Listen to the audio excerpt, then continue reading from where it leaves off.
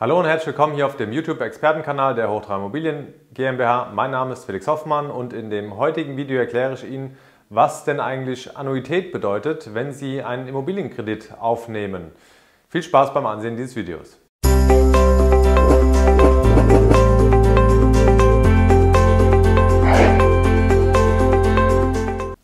So, hallo und herzlich willkommen zu diesem Video heute, in dem ich Ihnen einmal ganz simpel erklären will, was denn eigentlich das Wort Annuität bedeutet. Ähm, Sie haben es bestimmt schon mal gehört, wenn Sie eine Immobilie finanzieren, dann wird Ihnen die Bank in der Regel ein Annuitätendarlehen anbieten.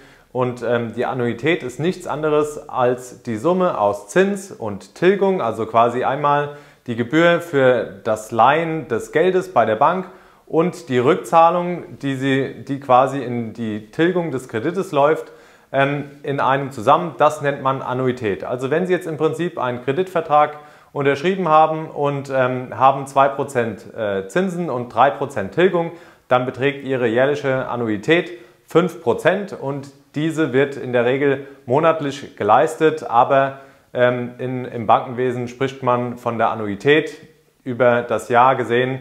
Ähm, wie gesagt, 2% Zinsen, 3% Tilgung macht eine Annuität von 5%.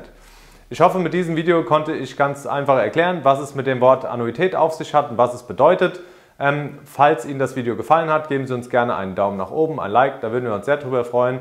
Und falls Sie Freunde und Bekannte haben, für die das Thema aktuell interessant sein könnte, dann teilen Sie das Video gerne mit denen. Ich bedanke mich jetzt erstmal fürs Zusehen und sage bis zum nächsten Mal, Ihr Felix Hoffmann.